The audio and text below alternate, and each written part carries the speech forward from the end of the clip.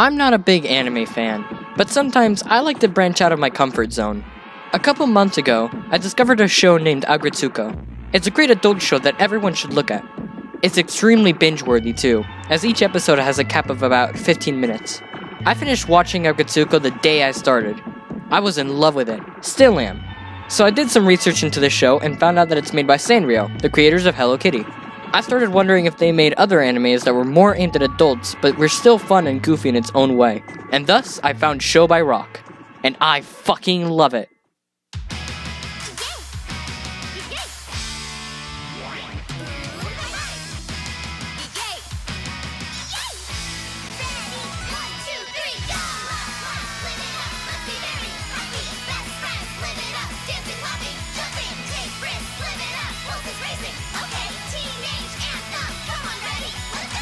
Show by Rock was never always an anime.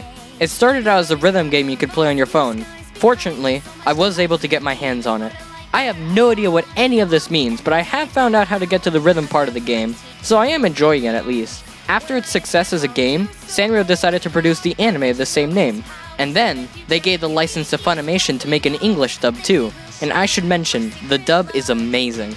The story follows a shy character called Cyan, who's trying to get into a music club but is too much of a fraidy cat to do it. So she goes home and tries to convince herself of joining before some sort of deadline the club has to perform in. But then while she plays a rhythm game on her phone to distract her, she gets an item called Strawberry Heart. Then her phone glitches out, and Cyan gets sucked inside her phone, falling from the sky and crash landing into a concert starring Trichronica, who I'll get to later. This is where the show goes off the rails a little bit, but bear with me. The performers on stage are also animals, they're in 3D? Okay, I want to backtrack a little bit to explain something. Everyone in Sound World, which is where the anime is set, is a Mewmon. A Mewmon can be best described as a sort of animal-human hybrid. It should be noted, however, that they are usually in this animal form. I say this because it is said that Mewmons have the ability to change into more human-looking people. They still retain animal features like the ears, tail, teeth, etc., but they look more human than before. Think of it like an ultimate transformation when you're powerful enough. Back to the show, the concert suddenly gets attacked by a dark monster, and it's up to Trichronica to defeat it. They fail though, and get trapped. But Cyan is in this weird virtual looking world too, and she retaliates with her guitar Strawberry Heart, defeating the monster and saving Trichronica. Shortly after, Cyan finds herself back into Sound World and no longer in her Mewmon form. President Maple, a manager of his agency Banded Rocking Records, goes up to Cyan and invites her to join his all-girl band in the agency, which she accepts because she always wanted to be in a band. He gets a little excited though. Hi. Why is that egg talking? Let me guess, this is just like when you order a hard-boiled egg! But the yolk is runny when you bite it, and you say, waiter, this isn't what I wanted, it's raw. Or like when you're looking to eat some candy eggs. So you peel the foil off excitedly! And you take a big bite, thinking you're about to taste some delicious sweet chocolate. But the inside's still white and yellow. Then you scream, you lied to me! By the way, do you like your eggs fried sunny side up or over eaten? And Chuchu promptly puts him down. This is Plasmagica, our protagonist and the all-girl band president was talking about. In the center, there's Chuchu. She's a bunny and a music enthusiast whose goal is to be the number one rock queen no matter what the cost, preferably in her eventual solo career. せいぜい練習して私のソロデビューのための踏み台になりなさい Chuchu is the leader of the group and the lead vocalist too. There's Retoree, a golden retriever dog who is a big techie and awkward most of the time. She really only joined Plasmagica to play music with friends and try to learn to socialize. Things haven't gone well for her though, and she gained very little actual relationship status with her bandmates. Moa, I just love what you did at the chorus. Did you really? You were great too, Pitty. Thanks. Okay, bye. I'm leaving. Retoree plays bass. Finally, there's Best Girl Moa. She's a black sheep, which is supposed to be a pun to her not really being able to fit in with her band for a single reason. She's a fucking alien! She's a princess from the planet Pewdoo who wanted to take the assignment of investigating other worlds to see how they cope with power shortage, as planet Pewdoo is currently under crisis of a shortage. She also does this cute thing where she says Pewdoo at the end of all her sentences.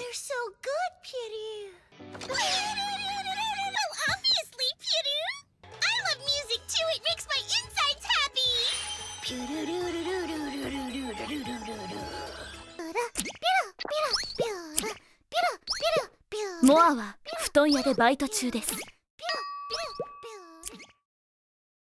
She also plays the drums, which incidentally is my favorite instrument.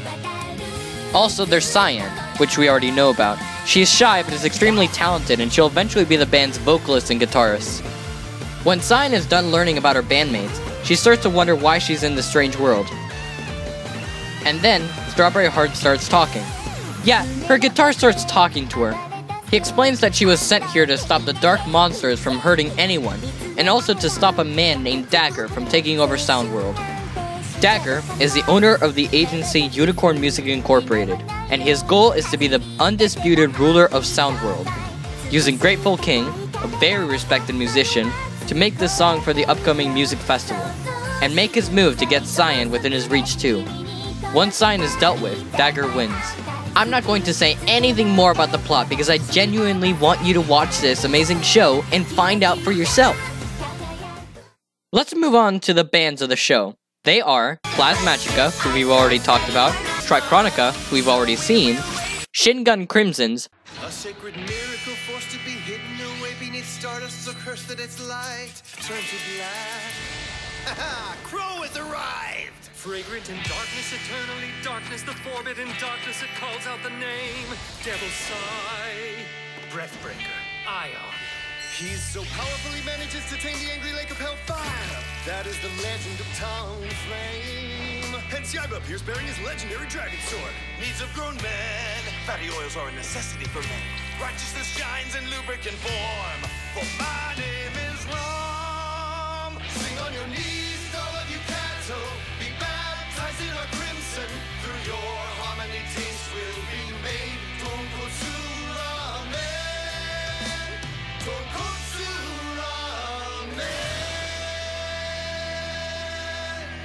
Go home! Criticrista,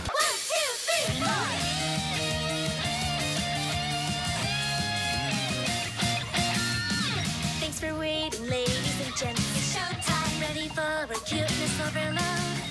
Gonna make your heart bitter pat. Show rock. Indulge in every way you can. and Zuri Zure Zure Agi Zure Zure Agayunan Zure Zure Zuri Zuri- Ah, oh, fuck it. Chuchu, help me out. Trichronica is the number one band in Midi City, where the show is set. They didn't really do much over the course of the show except Shu, the lead vocalist, has a backstory with Rom from Shingan Crimson's. Speaking of which, Shingan Crimson's is also signed under BRR, along with Plasmagica. They're major egotistical goofballs who all try to be better than each other, resulting in Rom, their drummer, kicking their ass and telling them the straight truth. They're side protagonists and do serve a sort of purpose in the story, but honestly, if you took them out and instead focused solely on Plasmagica, I think nothing would be lost. Still, they're a great band and I'm happy they're in the show. Criticrista is a band full of middle schoolers who got into a famous school for talented people and are arch rivals of Plasmagica too. Later on in season 2 though, they also get signed under BRR. Finally, we have Zure Zure, which is a fantastic band. Their purpose in the story is clear, and their music is beyond amazing. They don't go much in depth into the band though, and I wish they really did. Here's my ranking of all the band music featured in the show.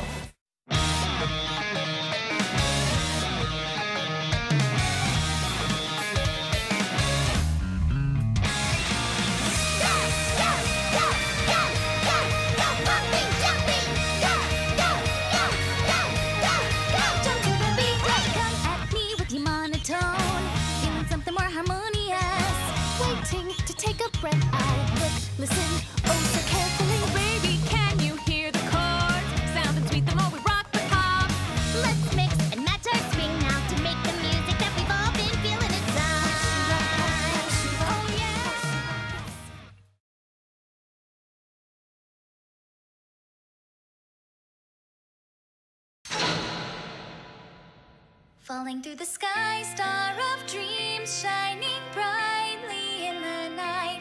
It carries what we feel. Let's sing as we all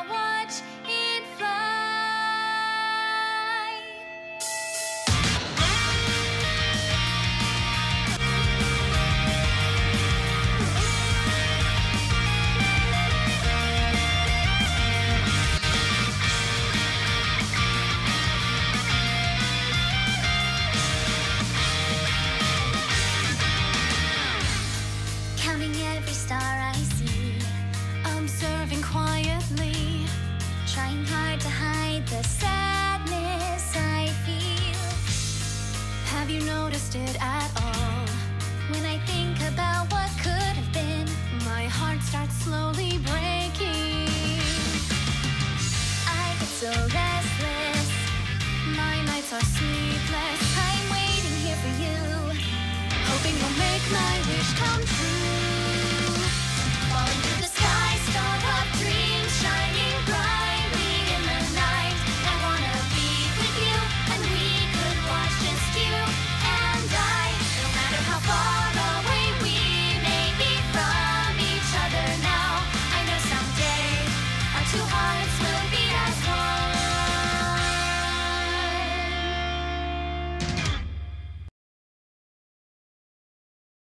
Speaking of depth, this show does a pretty good job at giving it to members in Plasmagica, especially Chuchu in season 1 and Moa in season 2. Everyone in the show has a problem that they have to get over. Cyan being afraid, Retoree having social anxiety, Chuchu's understanding of what Plasmagica means to her, and Moa not being left out because she's from another world. Each of these problems has at least one standalone episode to help the person realize how to cope with it or solve it. There are some unsolved problems characters have too, like Rom's friendship with Shuzo in the past. They dedicate an entire episode in the second season, but in the end, it never gets solved. The band just accepts it and moves on because it was a long time ago.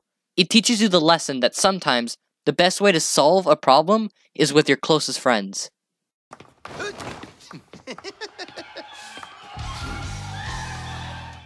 So, what makes this show shine above all other shows? What makes it stand out? Answer the music.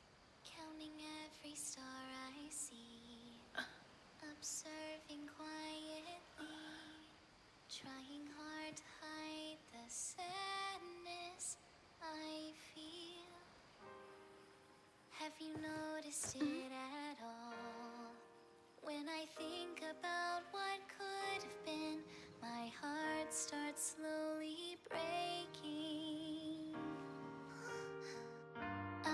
so restless. My nights are sleepless. I'm waiting here for you, hoping you'll make my wish come true. Falling through the sky, star of dreams, shining brightly in the night. I wanna be with you, and we could watch just you matter how far away we may be from each other now, I know someday our two hearts will beat as one.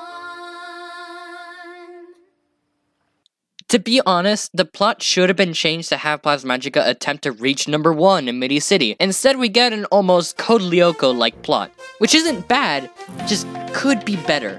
Most of the episodes that are great are because of the music and the characterization of the bands. You can even tell by the animation and framework done in the concert scenes. I mean, look at this. This is beautiful and at a very high FPS. I'd say 60. And then there's this, which, like most animes, is like a 15 to 30 FPS drawn animation, and it looks really choppy compared to the Mewmon scenes. Overall, watch this show for the music and character development, not for the plot, as it's not very serviceable. Which leads me to my next segment things I actually don't like about this show. Number 1. I don't like Retoree's love interest in Cyan. Hear me out, I'm all for lesbian and gay relationships in media. I'm not saying it's because it's gay, I support those kinds of relationships. But I really don't like Retoree's love for Cyan, because it's distracting, and it goes nowhere in either of the two seasons. I dread every time Cyan says meow, because then we get this reused animation of Retoree and it gets annoying really quickly. Number two, it can at times be very cringeworthy. Like this scene where Plasmagica learns that the best way to put on a good performance is with the best smiles. It just seems a little cheesy and almost feels like a kid's show at times. But it doesn't detract from the plot or the serious moments in the anime, which I'll get to later. Number 3. I don't like the show making fun of people who watch these kinds of shows for erotica purposes or to be kawaii and Lolita. If you want to know what I mean, look up on YouTube Show by Rock Short, Episode 1, and watch it all the way through. Something about watching one of my favorite characters' tail being inspected to make fun of people who think it's cute, of which I'm one of, makes me feel dirty and embarrassed. Everything's going to be fine, Moa. Don't worry. Don't you worry. Other than the music, though, the show shines when it's serious. A complicated relationship or a depressing time for the band. As an example, Plasmagica finds out that Cyan has been keeping the whole I'm not from this world thing from them, and everyone just tries to deal with it somehow, while Retoree runs and cries because she knows that Cyan will have to go back soon. And then, Cyan has to regain her trust towards Retoree and the band, and they sing a beautiful song to show that despite their troubles, they'll always be together. But then it gets worse, because Moa,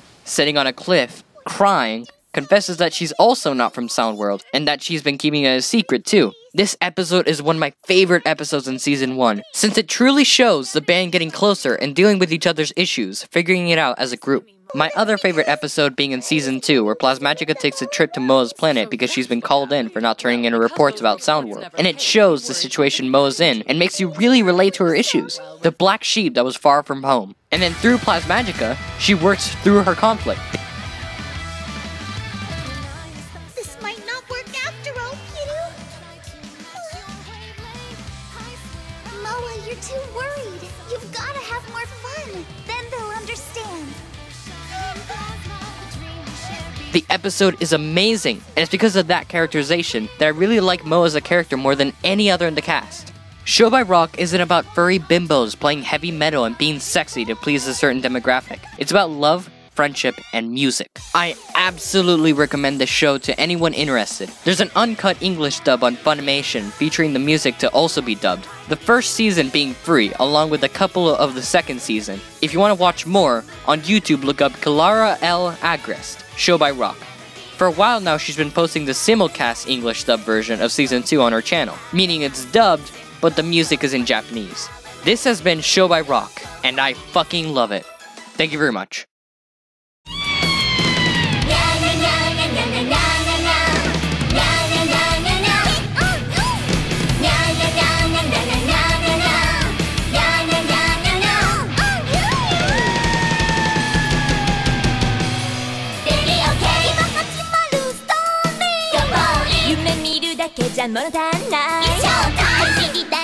トー